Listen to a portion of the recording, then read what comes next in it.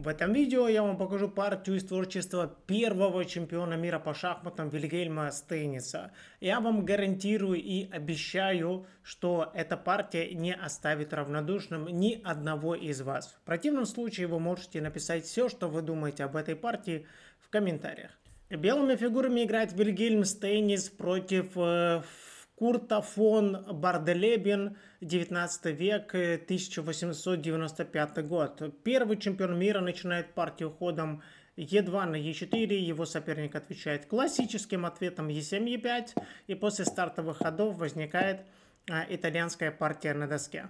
И наш первый чемпион мира выбирает ход э, пешкой на c3, намекает на агрессивную атаку Джоакина Грека, занимает пешечный идеальный центр, фигуры поддерживают эту пешку на d4, и вот уже, уже слон c5 находится под ударом.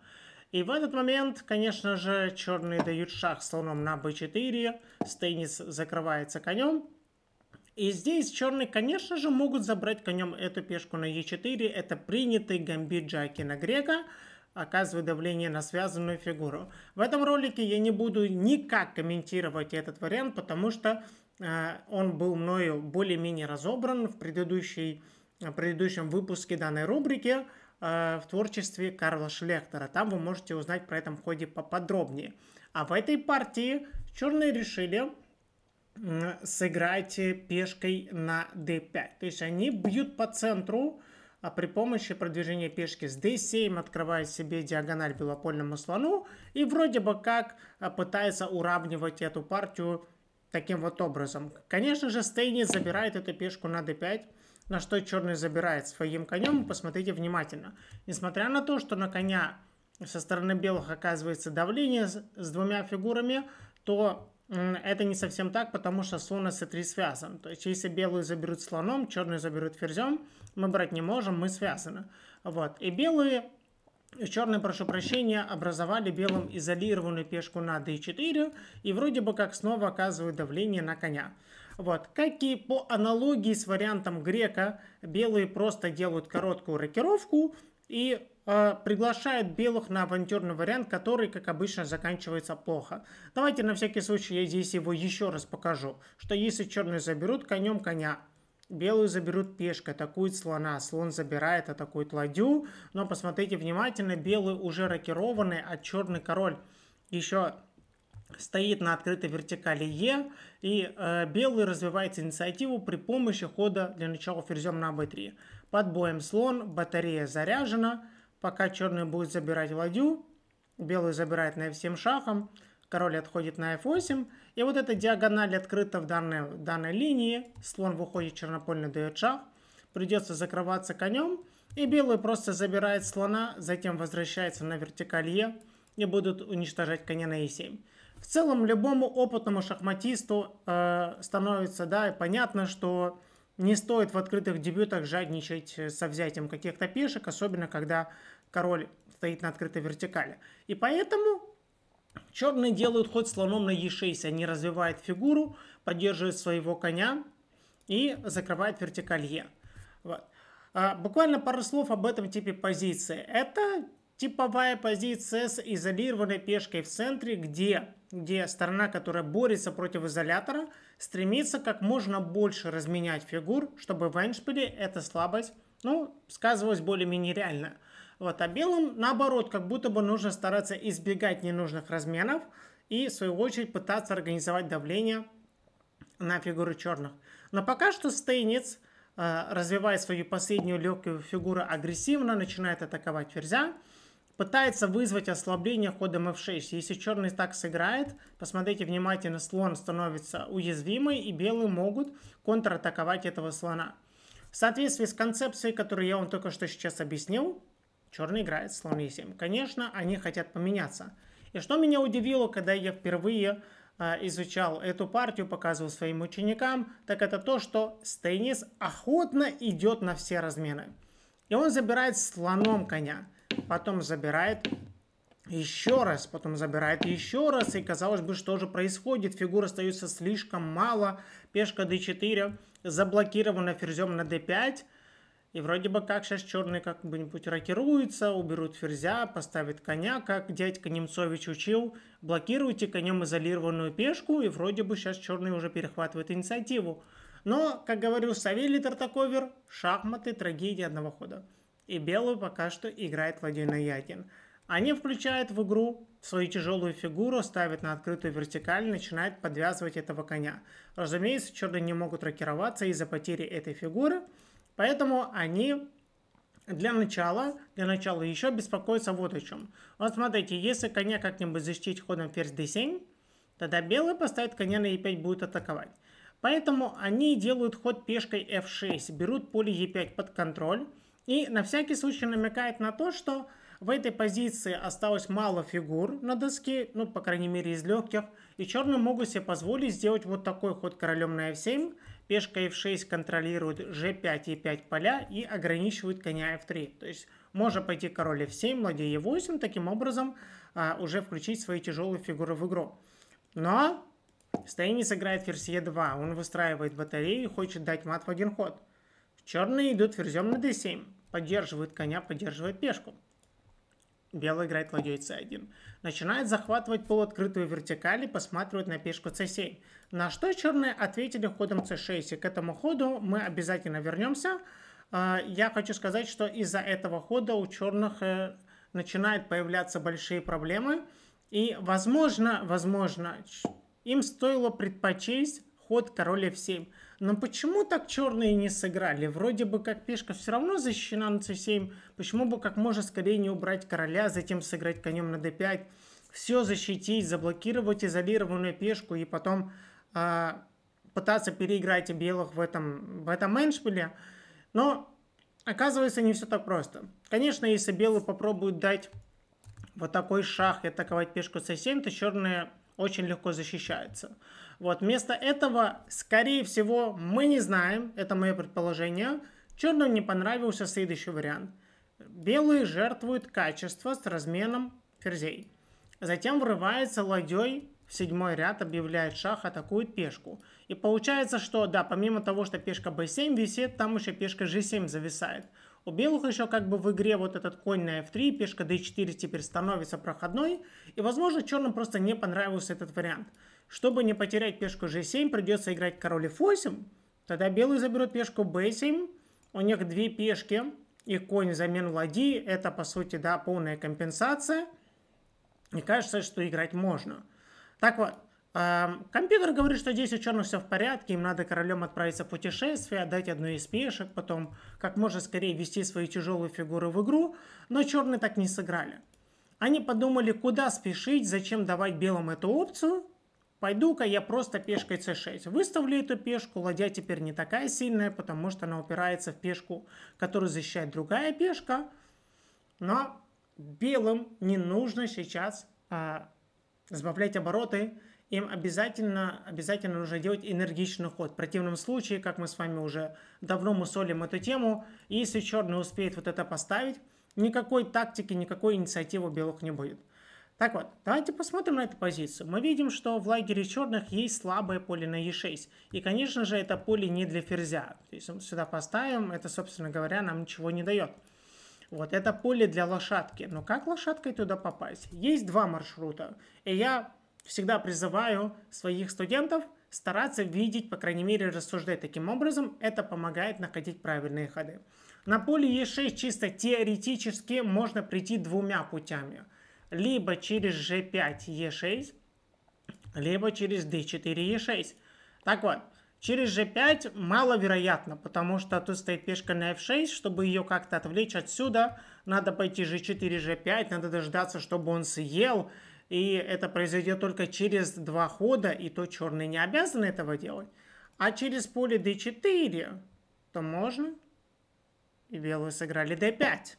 Зачем нам нужна эта изолированная пешка? Она только мешается нам под ногами и освобождает поле d4 для коня. Разумеется, черные не могут брать ферзем из мата в один ход, конем не могут, потому что связаны, поэтому пришлось забирать пешки. И Стейниц играет конем на d4, ставит коня, как мы с вами уже обсудили, для того, чтобы пробраться конем на поле e6. Теперь же угрожает вторжение на седьмой ряд. Поэтому черный играет ладья c8. Говорят, все под контролем. Uh, у меня лишняя пешка, я поле c7 контролирую. Сейчас все ладьи здесь поменяю. И буду вас выигрывать, э, мистер первый чемпион мира. Вот, давайте посмотрим на ослабленные диагонали. Вроде бы как надо давать шаг. Король отойдет на g8, не совсем понятно.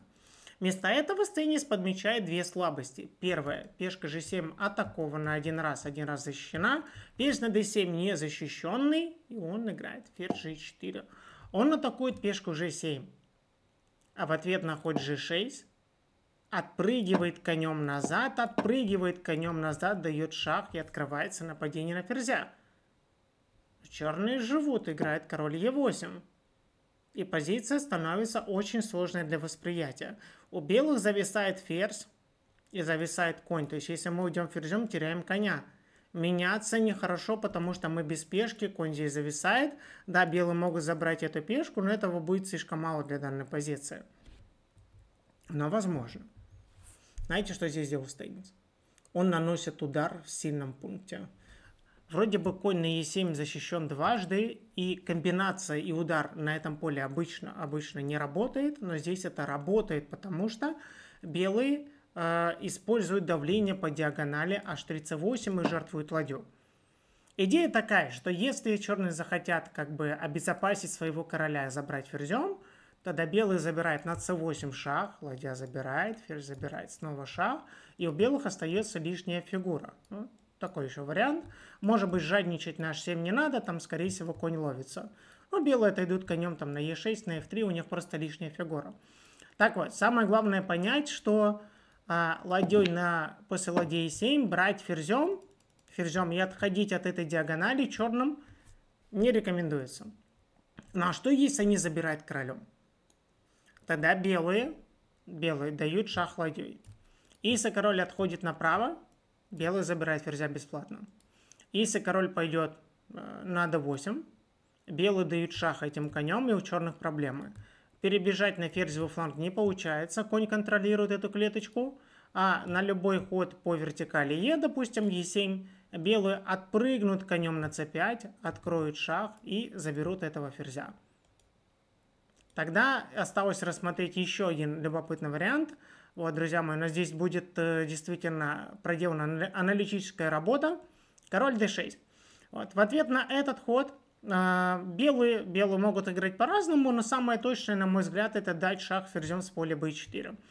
У черных есть как будто бы три э, разных ответа. Ладьей закрыться, королем идти, королем идти, но все эти ходы проигрывают. Давайте разбираться. Если король c6, то здесь все просто, мат в один ход.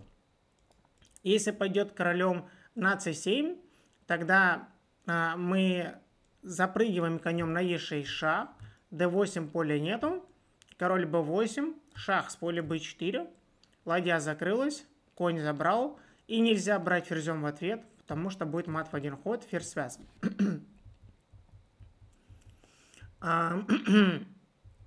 Также, также стоит отметить ход ладьей на c5, который закрывает шах от белого ферзя, но ладья становится связанной. И здесь самое точное, просто сыграть ладью на e6 это шах. Если король это идет, белый забирает ладью. Если ферзь забирает ладью, мы забираем конем. И черные даже не могут э, забирать э, королем коня, потому что ладья теряется. Ну и, соответственно, мат в один ход нам пока никто дать не может, потому что связано. То есть я привел этот анализ для того, чтобы вы понимали, что ладья e7 жертва корректная, ладья e7, но вы тогда можете сказать, а что тогда делать? Вроде бы все проанализировали, ферзем брать нельзя, ладья 8 королем брать нельзя, вы там все здесь разжевали, показали. На самом деле можно. И поэтому я вам в вступлении к этому видео сказал, что эта партия вам понравится. Потому что черные, черные нашли супер ресурс. И они методом исключения вычислили ход король f8. Внимание на позицию, друзья. Все зависло. Полный Jingle Bells на доске. У белых висит ферзь. У белых висит конь. На ладью два удара. Висит взятие на c1. И черные себе позволили просто уйти королем в сторону. Что же здесь происходит? Если белый забирает ферзем d7, мат в один ход. Если белый забирает ладьей d7, мат в один ход. То есть ферзя брать нельзя. Вот, если сначала поменяться на c8 шахом, ладья берет, и те же самые проблемы возникают. И кажется, что позиция белых теперь проигранная, несмотря на то, что они нанесли такой эффектный удар ладьей. Кажется, все плохо. Но Стейнис находит суперход. И суперход базируется, опять-таки, на идее отвлечения ферзя. Он ходит ладьей в 7 шаг. Кстати, буквально пару слов о том, что ход комбит h7 сейчас не является хорошим, потому что теперь черные заберут ладью, и после шаха черный король пойдет на d8. Вспомните, вспомните пожалуйста, Uh, у нас был похожий вариант, но конь стоял на g5, и белые продолжали атаку при помощи хода конем на e6. А здесь этого ресурса нету, и атака белых, по сути, захлебывается. Так вот, он играет ладья f7. Если черные заберут ферзем, рассчитывая на то, что мы заберем конем, они дают нам мат. Но теперь белые опять-таки сначала забирают на c8, объявляя шах, забирает ферзем, ну и у белых просто остается лишняя фигура как минимум. Что ж тогда делать? Метод исключения. Король Е8 нельзя мат в один ход, поэтому черный играет король G8. И опять-таки возникают те же самые проблемы для белых. Висит мат, висит ферзь, брать нельзя, будет мат. Что делает Стейнс? Ладья G7 шах. Если раньше ладья на F7 была хотя бы защищена конем, то сейчас ладья вообще никем не защищена. И снова брать ферзем нельзя из-за ладья C8. А если забрать королем, то король теперь заманивается на седьмой горизонтали, белый забирает ферзем шахом. И если король вернется налево, то теперь мы уже будем забирать конем шахом. На взятие ладьи берем ферзя шахом. Ну и, соответственно, король Е8 – это мат в один ход. Поэтому, опять-таки, на ход ладья G7, два восклицательных знака, черные должны сыграть король H8. И опять, да, та же самая карусель. Брать нельзя ферзя, потому что мат, все зависло, что делать непонятно. Продолжение банкета, ладья h7 шах. Так вот, королем брать нельзя, конь защищается. На взятие ферзем все выучили, ладья забирает ладью. Вот, и в этой позиции черные сдались. Вот. Удивительно, конечно, что они сдались. На самом деле здесь еще можно продолжить игру. И я продолжу ее, проанализирую эту концовку для вас. Черные, скорее всего, должны играть король g8. Вот. И тогда кажется, что а как дальше белым продолжить атаку, а белые вернутся ладьей на g7. В случае король f8 мы с вами здесь уже были, ферзь все забирает. В случае хода король h8, посмотрите внимательно, теперь вертикаль открыта, и белые дают шах ферзем. Король забирает ладью, ход единственный. Белый врывается ферзем в обжорный ряд, дают шах король f8. И снова нельзя брать этого ферзя, потому что будет этот проклятый мат по первой горизонтали. Поэтому белым нужно давать шах. Поле f7 битое. Король должен идти на e7. Теперь белые снова дают шах ферзем. Как только король оказывается, например, на d6, кажется, что он убегает, белый забирает f6 шах – Единственный ход это закрыться, потому что по вертикали c мы подрезаем, и это будет мат в один ход. Поэтому черному королю в этой позиции либо d8, либо e8. Вот, давайте начнем с e8, это наиболее упорный ход. Тогда белые дают снова шах, король e7, ферзь f7 шах, король d8, ферзь f8, c7 нельзя, e8 можно, шах конем, ферзь подвязан, король d7 и мат ферзем. Друзья мои, и на этом, на этом я хочу сказать, что это невероятно красивая и невероятно классная партия. Давайте мы с вами еще раз ее осмотрим. Это просто потрясающая. Итальянская партия Гамбит Грека, где черные решили совершить удар по центру.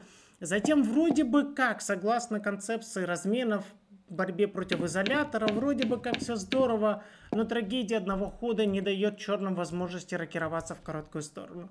И тогда черные пытаются обезопасить положение в центре, делают ход f6, он строит батарею, выставляет ладью на вертикальце, и черный вроде бы все здорово делает, и Стейнис находит энергичное решение, играет d5. Ставит пешку аж по три удара. И после того, как черные забрали пешку, конь отправился в центр поля, запрыгнул на форпост, ферзь подключается в атаку, конь дает шах, хочет выиграть ферзя, король отошел, и невообразимая жертва ладья. И после король f8, снова ладья начинает курсировать по седьмой горизонтали, забирает эту пешку шахом, и где черные сдались ввиду вот этого варианта форсированный мат 7 или 8 ходов. Ну что, друзья, я сдержал свое обещание, как вы считаете, вам эта партия реально понравилась. И напишите, пожалуйста, в комментариях, какой ход вам понравился больше всего со стороны белых. А с вами был покорный слуга, международный мастер Шамиль Арсланов. Лайки ставьте, друзьям рассказывайте, всем показывайте. Скоро увидимся в новых видео. Всем спасибо, пока.